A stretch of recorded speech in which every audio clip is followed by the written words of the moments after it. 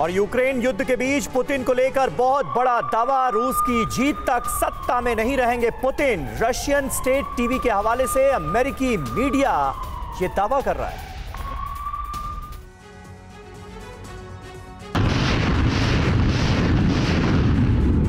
जंग के मैदान में हर हलचल पर सीधे राष्ट्रपति पुतिन की नज़र है।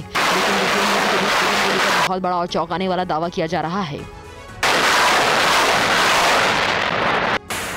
रशिया स्टेट टीवी के हवाले से अमेरिकी मीडिया ने दावा किया है कि रूस की जीत तक पुतिन सत्ता में नहीं रहेंगे। अब आपको बताते हैं अमेरिका से रिपोर्ट कैसे पुतिन पर बहुत बड़ी चोट। जिस तरह से जंग चल रही है, इसे खत्म होने में दशक लगेंगे।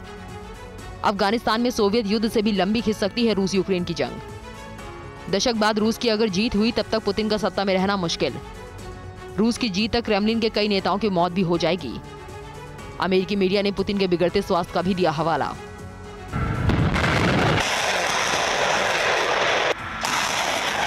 जंग के बीच की जा रही ये वो भविष्यवाणी है जो पुतिन को कतई मंजूर नहीं होगी।